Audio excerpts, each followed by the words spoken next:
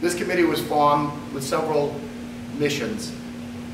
First of all, to build a permanent and lasting memorial to honor the achievements of John Winant. Secondly, to raise money to set up a scholarship program in his name for New Hampshire students to attend the Advanced Studies program at St. Paul School. Because of all the accomplishments I think that the governor achieved in his life, I think the one that may have meant the most to him was his first career as a teacher. Last spring, I had the privilege of going, traveling to London and meeting with Matthew uh, Ambassador Barzun uh, in his home, and I and I'll confess to you, I went for a different purpose uh, than to raise money for the Winant Memorial uh, statue.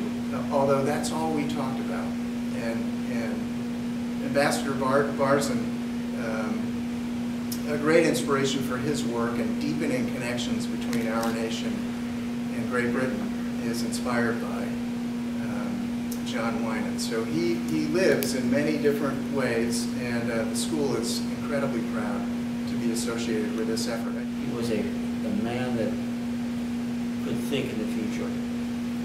The sculpture you're going to see across the street, it'll be uh, accessible, handicapped accessible, right from the sidewalk.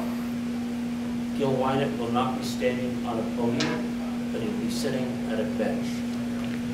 So we can come and sit next to him, have portraits taken, pictures taken. Families could gather around, because that's who he was.